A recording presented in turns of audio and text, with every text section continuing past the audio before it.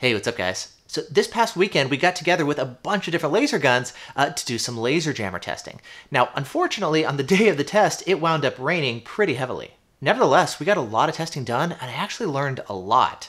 Uh, police laser guns, I mean, they're designed to be used in the rain. Police officers will shoot in the rain, and so our laser jammers need to be able to function in the rain too. And so uh, there's been a lot of testing done, you know, in dry weather, but in this video, I want to go over kind of what we saw uh, as far as rain testing, both from the perspective of uh, how police laser guns operate in the rain. It definitely is different uh, compared to how they function in dry weather, as well as what we saw uh, from the laser jammer end as well. And so, with that said, let's go into everything that we learned and saw uh, in this weekend's test. Now, before we get started, a quick disclaimer. Testing the rain is definitely going to be a pretty big variable. Plus, the rain itself kind of varied throughout the day. We had a mix of anywhere from drizzling weather, kind of light rain, uh, to a pretty heavy downpour. And so uh, that's definitely going to be uh, affecting the results here as well. Additionally, we also found a pretty big difference between uh, laser guns targeting the front of vehicles uh, as well as the rear, which I'll get into here in just a second. And so I wouldn't trust these results to be like kind of definitive and conclusive. They're just one more data point uh, and some interesting data that we learned along the way. Additionally, we also noticed that the results would vary uh, depending on how the install was done, which is pretty typical, uh, what laser jamming system you're using, how much rain we saw, etc. And so with that said, let's go ahead and start diving into some of the results. So starting off, let's begin with Jim H771's Porsche Cayman GTS. He's running a set of ALPs, and he's got two regular heads on the front uh, and one TX black head in the center. Now, when we were testing his car, it was definitely raining pretty heavily. Regardless, his setup seemed to do pretty well against some of the easier laser guns, including your uh, Kustom PL4, uh, your LRB, even your TrueSpeed S and Stalker RLR. Then as far as the Dragon Eye guns, we definitely started seeing more issues here. Uh, we saw a number of different punch throughs here with all of the different Dragon Eye guns uh, that we didn't see with some of the easier guns. Now, we even saw some instant punch throughs, which is not something I was expecting here, especially with an ALP install. Uh, it was raining pretty heavily at the time that we were shooting his car, uh, so I don't know if this was related to the rain. Uh, I don't know if it's something with the firmware version that he was running or if it's something specific to his install, but either way, this was definitely concerning to see. Uh, and so we're going to have to do a little bit more kind of digging and research to figure out what's going on here. Uh, for full information and discussion about all the test results that I'm going to share, we've got a whole thread going on the forum. I'll link to that down in the video description so you can check out. But in this video, we're just going to be kind of running through some of the results. Now, that said, we tested a bunch more ALP installs, and those ones in general did much better than we saw uh, here on the Cayman. So for example, we had uh, Maz3's Mazda CX-5, and he's got uh, three ALP heads on the front, two regular plus one TX non-black head in the center, as well as the same triple setup in the rear uh, with his heads actually mounted behind acrylic covers. And unlike with the Cayman, this setup was totally bulletproof. We didn't get a single punch through at all uh, on the front or the rear. Now, he's one of the many Canadians who came down for the testing, and they've got a ton of Dragon Eyes that they do some testing with, and so they actually wanted to test against uh, some of the American guns and the American Dragon Eyes that we had brought to the test. And so he's done some testing before to kind of optimize his setup, and it looks like his setup was actually doing great here uh, against the American guns that we tested with as well. Similarly, Jdem came down from Canada with an ALP setup on his Volkswagen Golf. On his car, he's running four heads up front, uh, two regular heads and two TX black heads. Uh, they're actually installed behind these uh, removable acrylic covers. On the back, he's got just two heads, uh, one regular head and one TX head, again covered with acrylic. He's done a bunch of testing up in Canada too, with great results. Uh, and testing with our American guns, again, he's done an excellent job. It was totally solid and bulletproof here uh, with his ALP install. And seeing these test results definitely started to give me more confidence in the capabilities of the ALP uh, to handle even some of these tougher guns and even when driving and testing in the rain. Next, let's take a look at Smason's Mazda 3. Uh, now, he'd had an issue in the past with one of the ALP heads actually failing after an accident, and so uh, he wound up doing some testing both with and without one of the regular heads. Uh, initially, he was testing with just one regular head and one TX head, and then he stopped and temporarily installed uh, an additional regular head on the passenger side of the car to do some testing with two regular heads and one center TX head. So starting off with the testing with just two heads, one regular and one TX black head, uh, it was doing pretty well with some of the easier guns, but did actually have some punch throughs uh, with one of the Dragon Eye compacts. Uh, and then switching over and adding that second regular head up front, uh, he did some additional testing, and it seems like the results were much better with that added head up front, which is to be expected. And speaking of head failures, this was actually a pretty big thing and something especially problematic uh, for the TMG installs.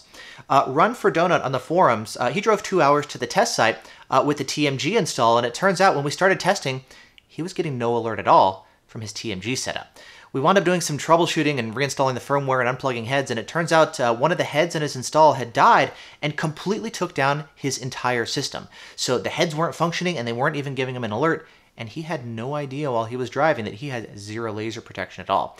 Now, with the ALP, if you have a head failure, it'll actually let you know that a head is down, a cable is unplugged, whatever's going on, it'll let you know that there's a malfunction with the head, it'll tell you which head, and the rest of the heads will still operate. With the TMG, it looks like you can run into a situation where you have a head failure, you have no warning in the cabin, and it winds up taking down your entire system so none of the other heads operate either. Luckily though, after some troubleshooting on site to kind of figure out what was going on, we unplugged the defective head, uh, fired it back up with just two heads, and resumed doing testing here. And this TMG dual setup actually seemed to do pretty well, especially if there wasn't a ton of rain.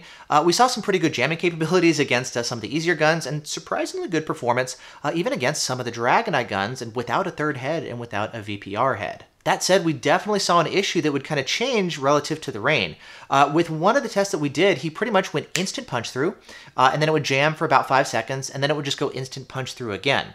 Uh, then after we were like, okay, this is weird, we did some more troubleshooting, all that kind of stuff. Uh, the rain had died down, right? So we had a lot less rain, and in that situation, we had what was it, a 171 foot punch through. So it jammed almost the entire length of the course. And so it seems like the TMG was definitely affected as well uh, by heavy rain. And speaking of rain affecting things with respect to LiDAR, we also saw some impacts to the laser guns themselves. Uh, even targeting cars that didn't have any laser jammers, it seemed to affect their ability to quickly lock in speeds uh, especially from the rear.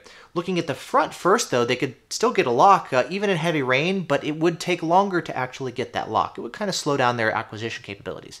The rear of cars was very heavily affected to the point where, uh, with most laser guns, it may actually take several seconds to get a speed, and with some guns, was completely unable to get a lock on the back of the cars at all. Uh, even cars that didn't have any laser jammers at all. And we were thinking about this, and we actually think it has to do with uh, when you're driving in the rain and your tires are kicking up rain and water behind the vehicle that can kind of act like chaff a bit uh, and uh, impact the laser gun's ability to actually get a reading uh, off of the back of the vehicles. That said, the uh, TrueSpeed S seemed to do the very best job of acquiring locks on the, the rear of cars. This one actually did a great job in the rain. Pretty much all the other laser guns had an issue acquiring locks onto the back of the vehicles.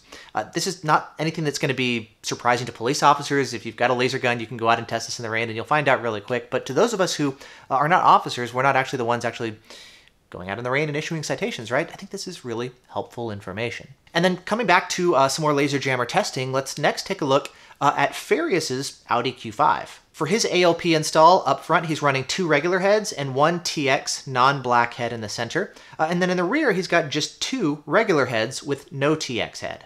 Surprisingly, though, when you go take a look at the results, you'll see there were actually more issues uh, with accomplishing the jamming in the rain uh, with the front of the vehicle than there were in the rain. Uh, up front, uh, it did pretty well against some of the easier guns, but then you get into some of the Dragon Eye guns, and it did have a little bit of a tougher time.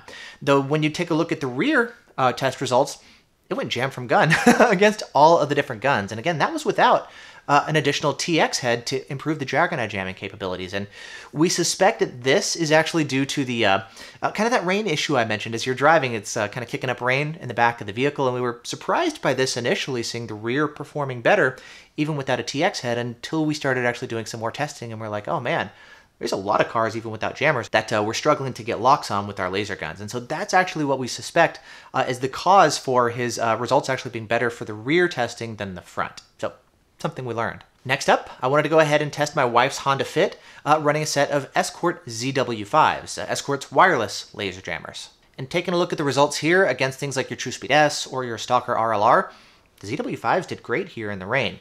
Uh, again, they did have some issues with jamming uh, some of the Dragon Eye guns, especially kind of out towards the headlights. Did better with center mass shots.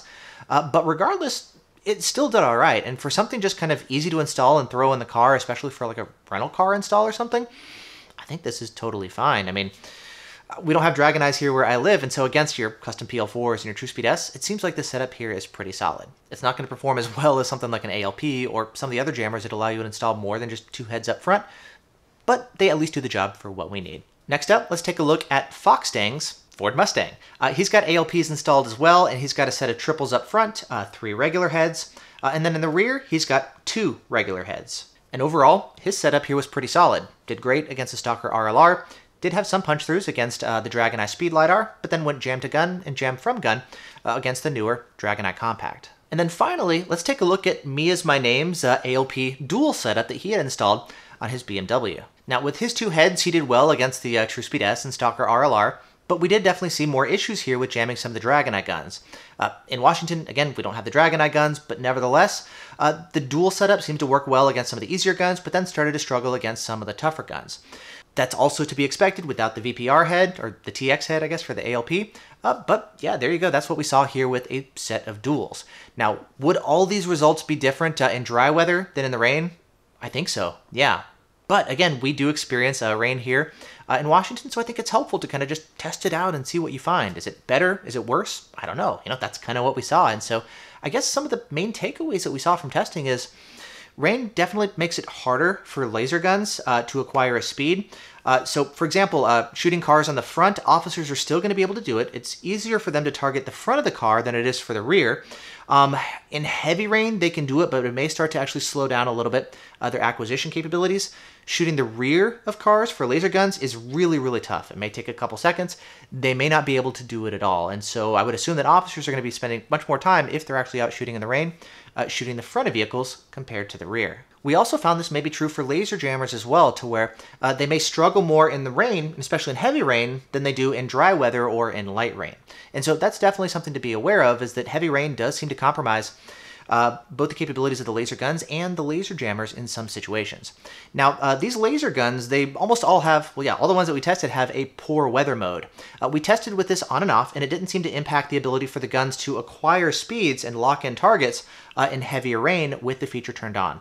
All the feature does is it just kind of uh, increases the minimum distance uh, to where they can get a speed. The idea is at close range, either rain or snowflakes or whatever else, is going to have a bigger impact to the laser gun, so it's just ignoring uh, any rain droplets that are closer up. And so the minimum distance that they can acquire speed, depending on the gun, is going to be anywhere from 200 uh, to 250 feet or so. And they're not going to be able to acquire speeds of any cars that are closer than that. And that really seems to be all that the uh, uh the poor weather mode is doing here with these different laser guns. Additionally, in terms of placement for kind of the best places to install the laser jammer heads on your car, we found that this can vary. There's definitely some uh, general recommendations and guidelines for uh, where you should install the heads, but we found that uh, sometimes that's not always going to apply perfectly to every single vehicle, and you may actually want to kind of experiment. That's what testing is all about, with like different uh, installation locations to figure out what's optimal for your specific vehicle. And so, testing we found can be very, very helpful uh, to figure out kind of the best place to install the stuff before you get everything permanently installed and locked into your car.